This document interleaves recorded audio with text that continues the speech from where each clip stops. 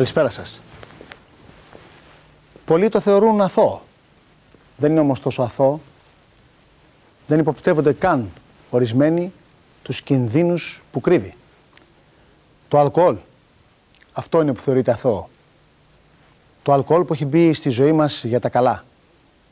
Απαραίτητη συνήθεια στις βραδινές εξόδους και στις συντροφιές. Για πολλούς μάλιστα είναι μια αθώα συνήθεια. Πολύ αθώα.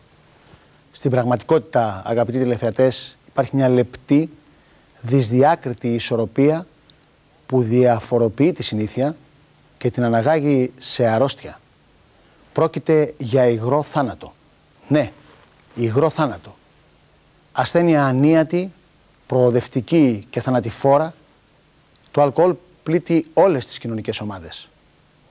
Ο υγρός θάνατος όμως εξαπλώνεται ραγδαία και πλήττει κέρια έναν πάρα πολύ ευαίσθητο χώρο.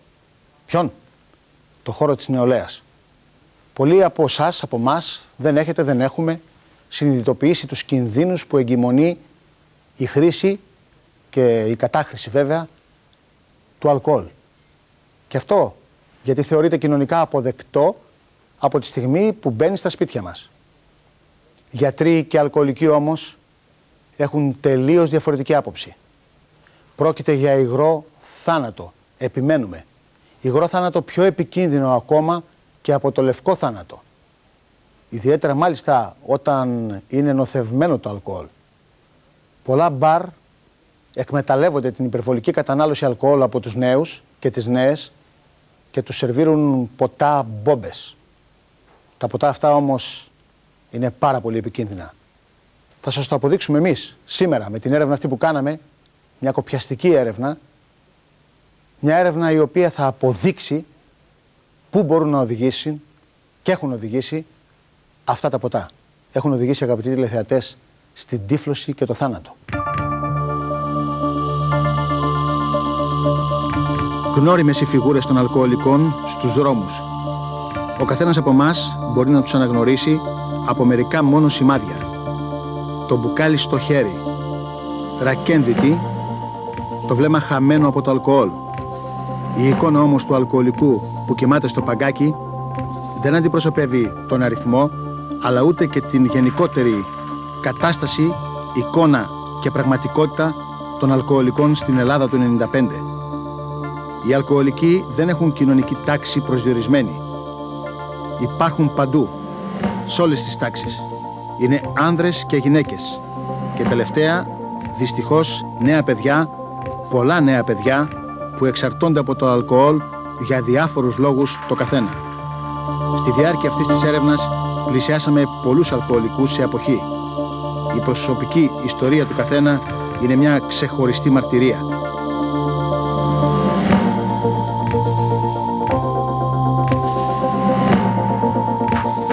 Το αλκοόλ το γνώρισα σε πάρα πολύ μικρή ηλικία. Ε, γύρω στα 14 μου χρόνια περίπου. Ε, βέβαια τότε, εκείνο τον καιρό περίπου, είχα μπήκα σε άλλες ουσίες ναρκωτικές. Το αλκοόλ το, ε, σαν εξάρτηση ε, το συνάντησα πολύ αργότερα στο να μου γίνει πρόβλημα. Εκείνη την ώρα είχα άλλο πρόβλημα. Είχα πρόβλημα με ναρκωτικές ουσίες.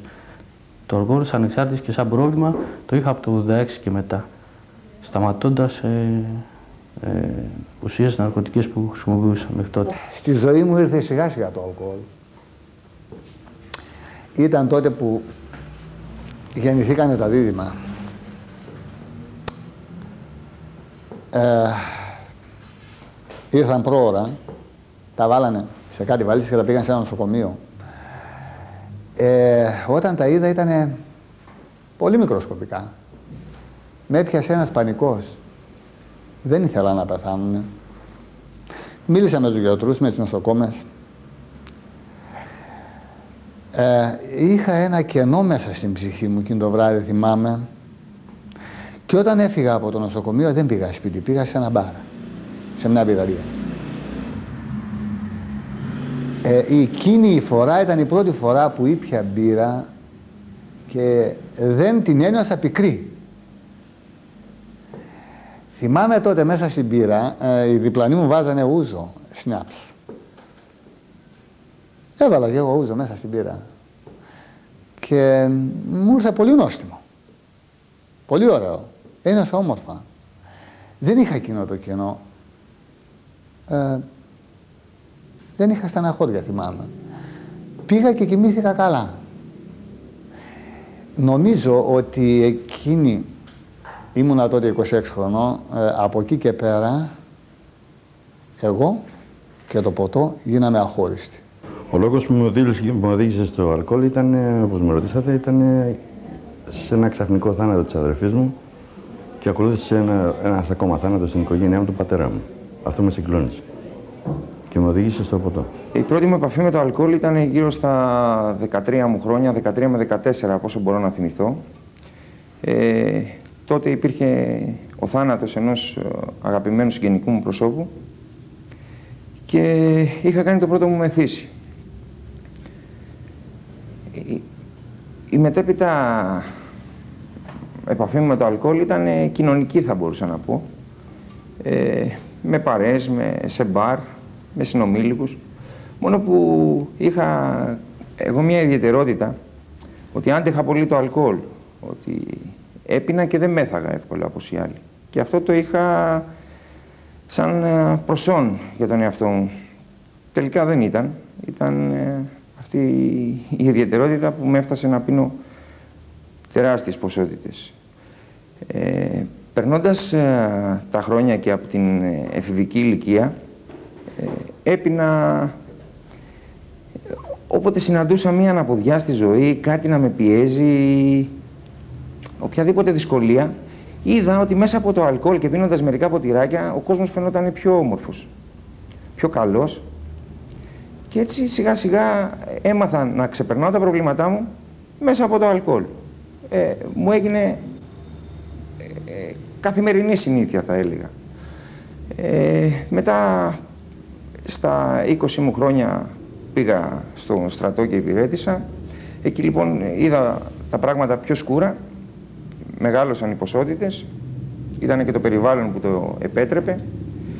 Μετά είχα μια ερωτική απογοήτευση και τότε ήταν η, η πρώτη μου πολύ στενή επαφή με το αλκοόλ σε καθημερινή βάση και από το απόγευμα. Μέχρι που σιγά σιγά αυτή μου η συνήθεια με έφερε να είμαι σε ένα συνεχές ε, μεθύσι το οποίο ε, με είχε σε μια κατάσταση υποφερτής συχαμάρας για τον εαυτό μου η οποία το πρωί στο ξύπνημα που υπήρχαν και τα στερητικά συμπτώματα η συχαμάρα αυτή γινόταν τεράστια. Μετά ξαναχρειαζόταν να ξαναπιώ για να μπορέσω να δω τον κόσμο κάπως καλύτερο για λίγες ώρες, ώσπου στο τέλος να ναρκωθώ από το αλκοόλ για να ξαναξυπνήσω από τα στερητικά και να συνεχιστεί το ίδιο σενάριο για τα τελευταία τέσσερα χρόνια τουλάχιστον της ζωής μου.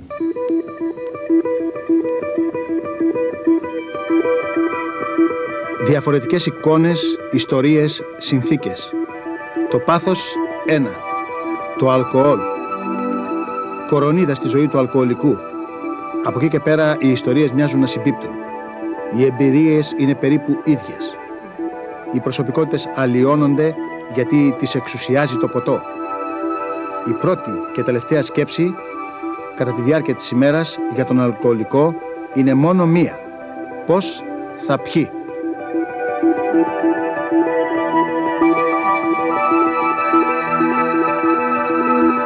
Στα καράβια μέσα άρχισα το...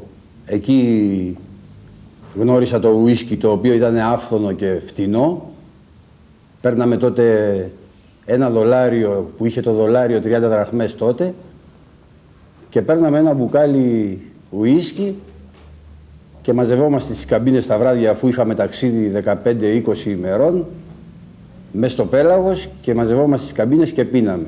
Σιγά σιγά περνάγανε τα χρόνια και άρχισε το ποτό να, να μ' αρέσει πολύ. Ε, αφού περνάγανε τα χρόνια, το κακό μεγάλωνε. όσο έπινα ήθελα να πίνω πιο πολύ. Ήρθε ο καιρός που περάσαν τα χρόνια, παντρεύτηκα και άρχισα και δημιουργούσα προβλήματα στην οικογένειά μου. Ήρθανε τα παιδιά, αρχίσανε οι καυγάδες στο σπίτι, έλεγα ότι κάτι συμβαίνει με μένα, αλκοολικός δεν μπορούσα να παραδεχτώ ότι είμαι, αλκοολικούς ε, νόμιζα ότι ε, αλκοολικοί λέγονται αυτοί που κοιμώνται, που κοιμώνται στα παγκάκια, κουρελίδες με ένα μπουκάλι στο χέρι και έλεγα ότι έχω πρόβλημα. Κάτι συμβαίνει με μένα, γιατί το πρωί ξύπναγα και έτρεμα, ήθελα να πιω πάλι. Από το, το, το, το, προηγούμενο βράδυ αφού είχα πιει, το πρωί που ξύπναγα έπρεπε, δεν ήθελα καφέ, ήθελα να πιω να στανιάρω. Ήθελα ένα ποτό να, γιατί είχα τρεμούλα. Ε, μετά το μεσημέρι άρχιζε πάλι και ήθελα να πιω με το φαΐ.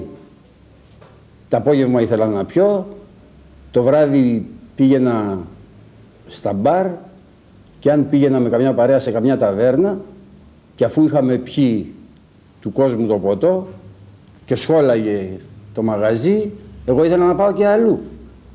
Όχι ότι δεν είχα διασκεδάσει, αλλά ήθελα να συνεχίσω το ποτό. Δεν μου φτανε αυτό που είχα πιει εκεί.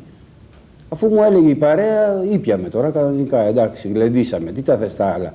Πάμε και παραπέρα, πάμε και παραπέρα, να, να πάει τέσσερις η ώρα.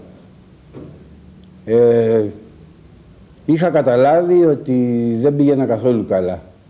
Ε, εγώ έπινα τότε αφού είχα αρχίσει, είχα, είχα φτάσει στον αλκοολισμό, έπινα όταν κέρδιζε η ομάδα μου. Από χαρά. Έπινα μετά γιατί έχασε η ομάδα μου. Ε, ε, έπινα γιατί με διώξαν από τη δουλειά λόγω ποτού, από λύπη. Ε, έπινα μετά πάλι γιατί βρήκα καινούργια δουλειά από χαρά. Και μου λέγανε, καλά εσύ και χαρούμενος πίνεις και λυπημένος πίνεις. Δηλαδή γιατί πίνεις; Απλώς δεν ήταν ότι έπινα ούτε από χαρά ούτε από λύπη. Έπινα γιατί ήθελα να πίνω, γιατί έβλεπα τον κόσμο καλύτερα, γιατί αυτό είναι βέβαια θέμα ψυχανάλυσης. Ίσως είναι βιώματα από τα παιδικά μου χρόνια, από την παιδική μου ηλικία. Στο σπίτι μου έπινε και ο πατέρας μου. Έπινε πολύ, δημιουργούσε φασαρίες, είμαστε πολλά παιδιά. Στα παιδικά μου χρόνια δεν έπινα κρασί, ούτε ε, τίποτα άλλο. Μόλις ε, πήγα και έπιασα δουλειά στη Βιαμάξ, ήμουνα στη Βιαμάξ και εκεί είχε 2.000 κόσμο. Ο ένας με κέρανε ένα ποτό, ο άλλος με κέρανε ένα ποτό, έφτανα καμιά τριανταριά. Αλλά εγώ νόμιζα ότι δεν έπινα κανένα. Ήταν χόρταγο το στομάχι μου. Και αυτό γινόταν την άλλη μέρα έπινα 40, μετά πήγαν 50, μετά πήγαν 60, μετά πήγαν 80. Μη σας τα πολυλογώ ότι έφτασα τα 150 κονιάκ, ημερησίως. Και ειδικά όταν δεν είχα λεφτά, ε, πήγαινα στα νεκροταφεία. Και εκεί στα μνημόσυνα, όσα ήταν εκεί πέρα σε αυτό, τα έπινα εγώ. Τα, ήταν μια γυναίκα, έπινε ένα τόσο δά, εγώ γύρω γύρω στο τραπέζι τα έπινα όλα. Ε, κατάντησα ένας που ήμουνα του Κλώτσου και του Μπάτσου. Μετά ε, με διώξαν από εκεί, ε, πήγα στη Δημαρχία στο Γαλάτσι. Εκεί παράγινε το κακό. Εκεί είχα από το πρωί ως το βράδυ και έπινα. Έπινα, έπινα, έπινα. Και ε, εκεί που ήμουν στην Γαλατσίο ακριβώς, έσκασα κάτω σαν κολοκύθι.